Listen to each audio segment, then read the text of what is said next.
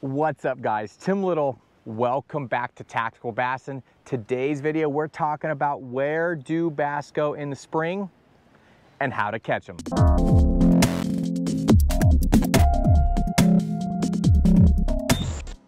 Hopefully you guys have been following along the channel for uh, the last, well, more than the last few videos, but in the last few videos, we've talked about kind of this spring early spring transition, done some spring fishing. Hopefully you guys got to see that uh, raw uncut video I did down, uh, down south in Florida messed them up on a chatterbait. If you haven't already, check out some of those other videos. I'll leave them down below in the video description. You can go watch those. But we talked about early spring.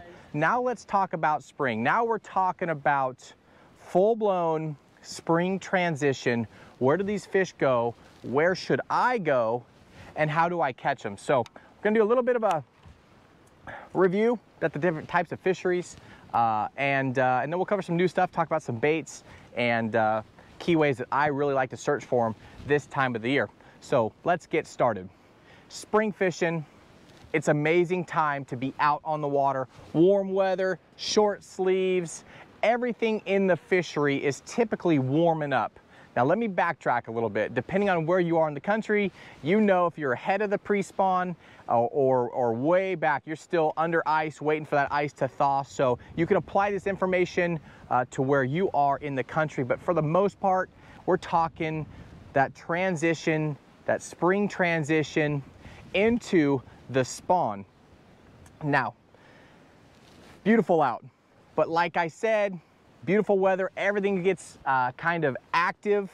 Tomorrow through the entire week, we have a whole weather system, a whole front coming through, gonna cool everything down, gonna turn all the fishery that I'm on, Chickamauga, all the backwaters into mud. Right now we got stained, but um, fishing this time of the year is usually really, really good, especially if you've been cooped up in the winter uh, uh, inside in the winter, all winter, you know, in the garage, in the shop, just kind of thinking about fishing. Now is the time to get out on the water. Like I said, those fish are moving through that spring transition. They're looking, their end goal is to uh, spawn, right? To get into those shallows, get into that warmer water, uh, wait for that moon, that full moon, which I think is March 18th. Don't quote me on it, but uh, that full moon's March 18th. Uh, new moon is April 1st. So uh, that's uh, just some just some info for you guys. But that full moon, that first full moon in March, you know, these fish are typically looking to spawn. So if you've been catching them all winter out there on your main lake points, out there on your main transitions, your rock piles out in deeper water, now those fish are gonna kind of progress through their transition into the backs of spawning bays. Now it doesn't matter if you're talking about a highland reservoir, a lowland reservoir, a river system or a delta or a pond. All of this information applies. Uh, the fish will still move the same. They will use different things to move, different places to stop during the transition. But for the most part, that is the end goal, the spawn. That is spawning base. So if you're on a fishery, like I'm on a river system, you know, the TVA, the Tennessee River, uh, I'm looking for backwaters. I'm looking for stuff out of current and I'm looking for hard rock, banks that uh, are facing the sun uh, for the most part of the day. Those banks are gonna warm up quicker. Those uh, banks are gonna warm up uh, faster and stay warmer water uh, through this whole period. But I'm looking for flatter backwater stuff where those fish can get in that warm water and do their spawn. So it doesn't matter if you're on a highland reservoir, lowland reservoir, river system, or a pond, that's what these fish are gonna do. So let's talk about a highland reservoir. You guys know if you've been following the channel for a long time, Highland Reservoir, that's gonna be your real deep, typically clear water reservoir. It's gonna have real bluff walls. It's gonna have long fingers, long river arms with uh, main, like a main lake point that separates the two river arms. And then you're gonna have secondary points. And then hopefully close to one of your main lake points, you're gonna have a little cut in with uh, some shallower, less steep shoreline. You know, highland reservoirs, typically you have your bluff walls, real sheer deep stuff. You know, you can go from like 25 to 90 uh, feet of water. So you're looking for something with less transition, a more gradual transition, something that's gonna warm up quicker and, uh, and uh, that's where those fish are gonna be going. So Um, your main lake points, look for a spawning bay or a a less deep, less sheer of an area close to those main lake points, and that's where those fish are gonna be transitioning to. Now, how do you catch them along the way? They're gonna use those secondary points, so not the main lake point, but those points that are working their way back into that spawning bay, they're gonna use those like step, stepping stones uh, along the way to eventually get into that bay and do their spawn. So if you're trying to catch them, you've been out there on that main lake point all winter, catching them in deeper water, start your process, start your progression back towards those secondary points and you will find the fish along the way. Now, if you have a secondary point that uh, is just better than others, rock piles, maybe it has some standing timber, uh, maybe the bait likes to uh, congregate around a specific point along that transition, uh, that's gonna be key because that's where you're gonna catch the majority of your fish.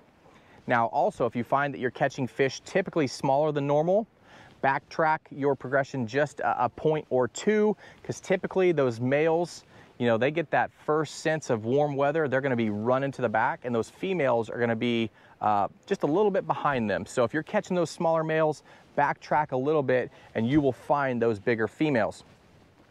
Lowland Reservoir, same type of deal, except for you don't have a lot of your bluff walls. You don't have a lot of your real long river arms. You're gonna have more humps and low spots out on your main body.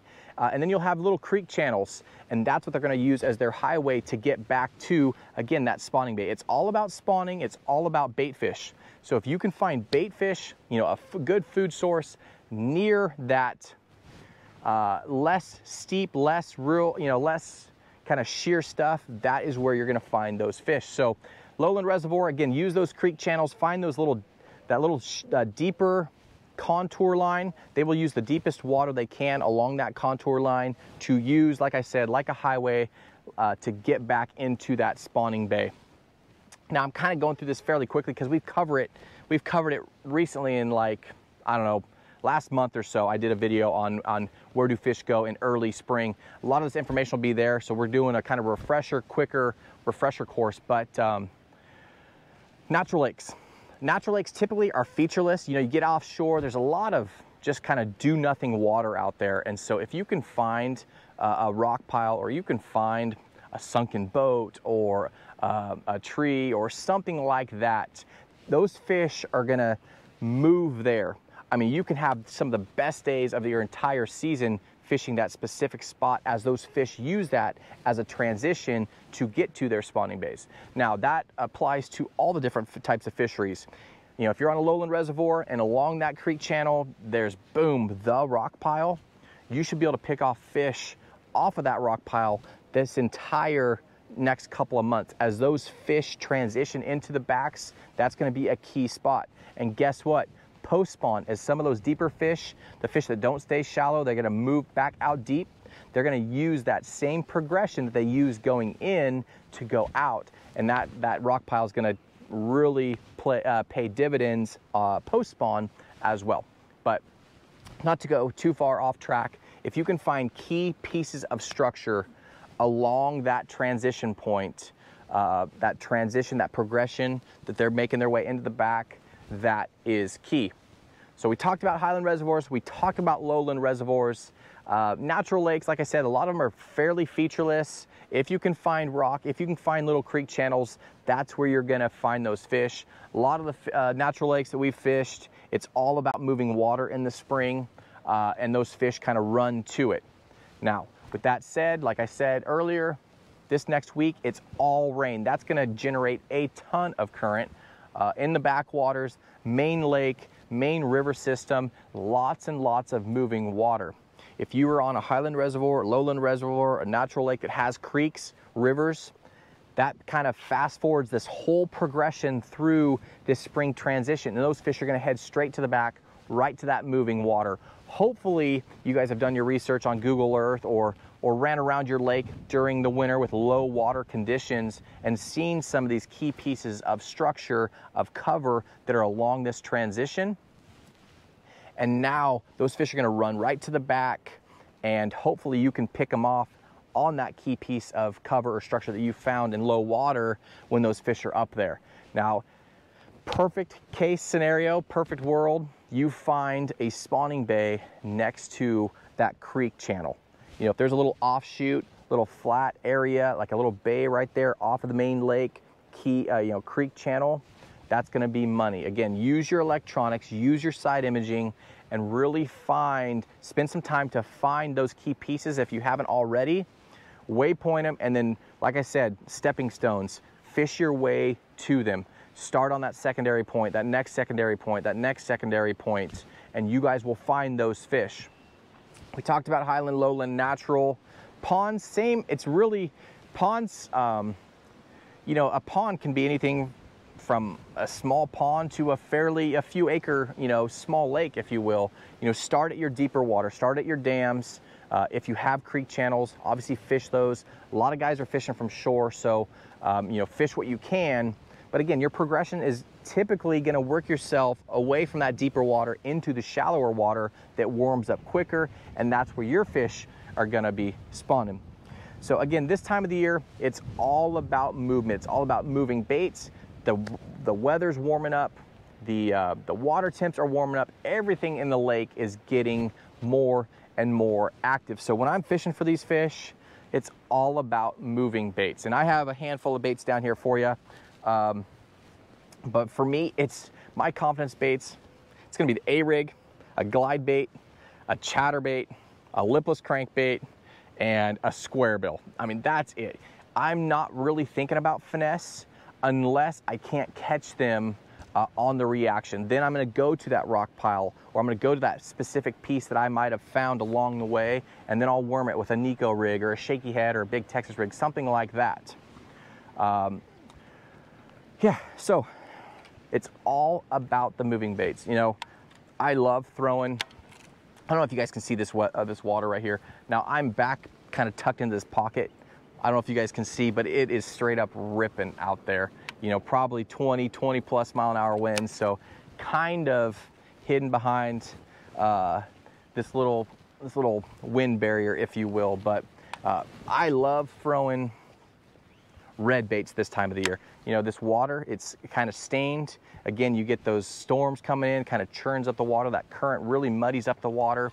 Um, but a red chatterbait works really, really well this time of the year. Now, I typically don't start off with the chatterbait. Typically, I like to throw the A-rig. You guys know that.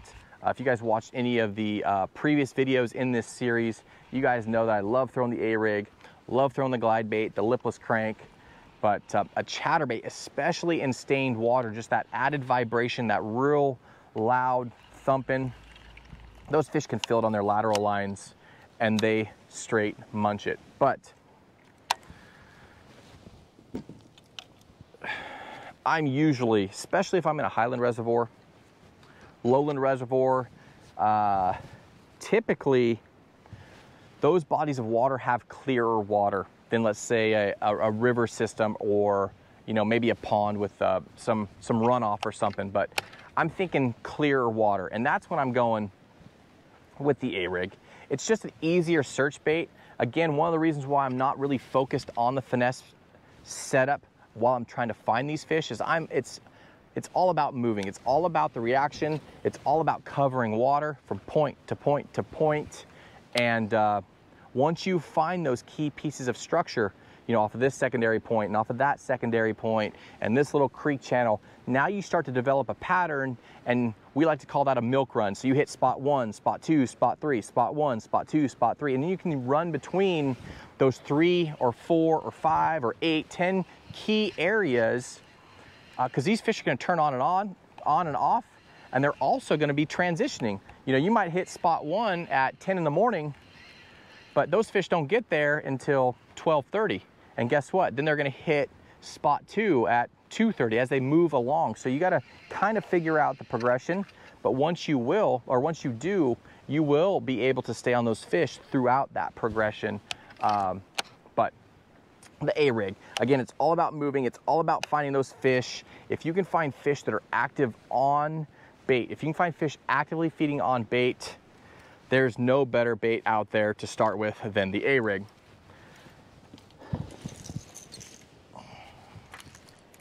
Two more for you. The glide bait, the lipless crank. Some of my biggest fish ever have been on the lipless crank in the, the pre-spawn, that whole spawn transition as those fish are moving shallow from deep. But since we're in this area, I don't want to uh, necessarily hang up, but you can see there's laydowns. So let's pretend that this is a spawning bay. You know, you got your main, main point out here, main lake point out here, your secondary point, um, and these fish are gonna be moving into the backs. So I'm looking over here, I got some riprap, got some rocks, some real hard shoreline. I got some dock pilings over here, kind of a mud bank with some uh, laydowns. The laydowns are great because those fish will use those as ambush points, as cover along their, their transition, along their progression. So I'm gonna use the glide bait to really pick apart the different pieces of cover along the way. You know, these fish, especially the big fish, they're looking for the best pieces of, uh, of structure to, uh, to sit on, to be around, to feed off of during this transition. So that's when I'm gonna use the glide bait. You know, it, it fishes a lot slower than a chatterbait, then an A-rig. Um, you know, it's, it's one of the slowest. This and the lipless are gonna be the two slowest. Those are gonna be the, the baits that I use to really pick apart a spot. But that A-rig and that jackhammer, that chatterbait, that's what I'm gonna be using mostly for my search baits. Now, we talked about the dingy water. If it is crystal clear water, that's when I'll go away from the chatterbait and that's when I like to throw like a, a 3.8 or a 4.3 Keitech, something maybe on an underspin, add a little bit of flash. If you're fishing around bait fish, there's something about adding that, that flash, adding that blade. You just get more bites when you add that flash. It just makes that bait stand out from the hundreds of thousands, millions of other little bait fish. Uh, but if I'm fishing clear water, that's when I set the chatterbait down and I pick up uh, either an underspin or uh, just a, a 4.8, 4.8, 4.3, 3.8, one of those three size swim baits uh, with a just a normal swim bait head on it, either the tactical finesse head or the Matt Allen head, but something that's got the exposed hook. If I'm fishing around cover, if I'm fishing around grass that's freshly coming up, that's when I'll switch back over to like the flashy swimmer. It's kind of the best of both worlds. You get that flash, but you're also weedless. Guys, springtime, if those storms come in, head to the back. You know, these fish will chew when that rain starts dumping, right? So when these this water starts moving, when your fishery starts getting you know, moving, that water level starts coming, rising up, these fish will feed. They will take their nose right to the bank and get shallow. You could actually throw a square bill if you wanted to switch that out from a lipless crank, but these fish will get shallow and they're gonna move. They're gonna move to that, that new, fresh, incoming water and feed. If you're fishing after the storm, the lake's kind of settled down, the water's kind of cleared up, go with these baits. You guys will have a ton of success. Guys, this is the best time, in my opinion, this time all the way through uh, right to up to the spawn is your best chance of catching the biggest fish of the season. As these fish are bulking up, they're feeding up, they're full of eggs, especially the big females, full of eggs. Now is the chance to catch your new PB. Again, down below in the video description, I'll link all the baits, some favorite colors, and then just some little key notes about the different transition points, the different types, bodies of water. But guys, I hope this helps. I hope this gives you the confidence to get out on the water. You know, if it is raining, spring storms are great to fish in. Throw on some rain gear, but get out, make some casts, and you guys have a shot at catching your new PB. As always, guys, thanks for watching. If you haven't already, hit that like button, subscribe to the channel, and we'll see you on the next video.